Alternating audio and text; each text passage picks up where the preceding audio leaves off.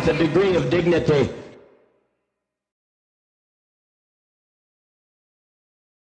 Darling, don't forget about the poppy I got from the nice gentleman at the door the other day. Thank you for reminding me. People at the bus stop would think I wasn't paying my respects properly.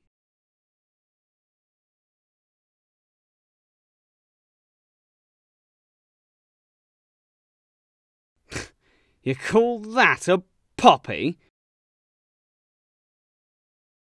Now this here's a poppy. A high grade, hand painted coloured enamel with a brass plate finish, sure to catch the eye of any patriot. You should show a little more respect for our fallen. I doubt you're even proud to be British, are you? You call that a fucking poppy, you cunt?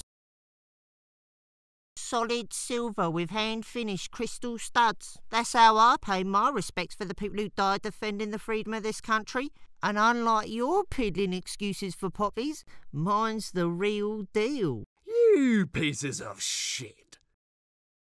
Is that what you call paying honour to our servicemen and women? Right, you lot, listen here. Knock this off. It doesn't matter how you pay your respects to your country. All that matters is. You sad sacks of shit. You call that paying tribute to our military men and women with those piss poor excuses for poppies?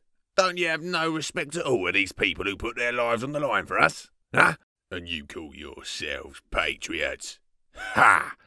I bet you wanted the Nazis to win.